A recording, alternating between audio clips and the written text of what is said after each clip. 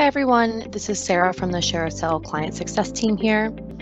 This video is going to walk you through how to create additional logins to your account, as well as how to send email notifications to more emails.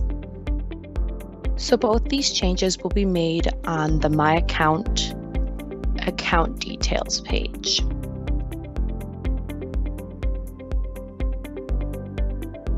Let's start off simple with just adding a new email to the account.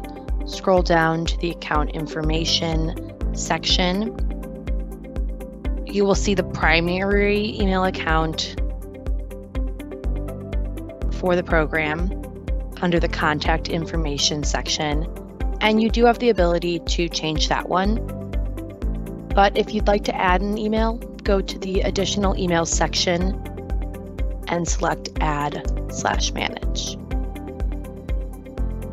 Once in this pop-up, you can add an email and select all the different email notifications you'd like this specific email address to receive.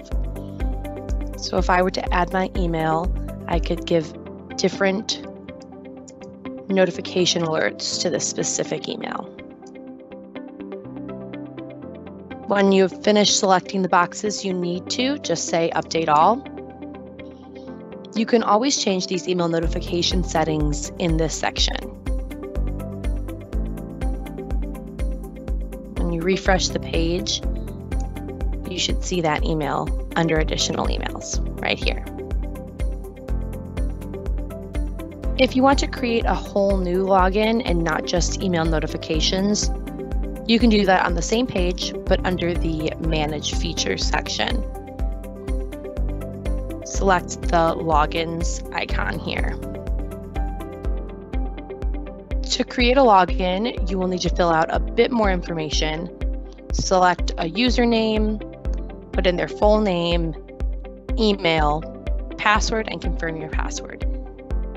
And again, you can select specific qualifications or access to specific login accounts. A lot of different merchants that we work with would perhaps create a login for an employee who only has view access. So you could do that by just selecting the different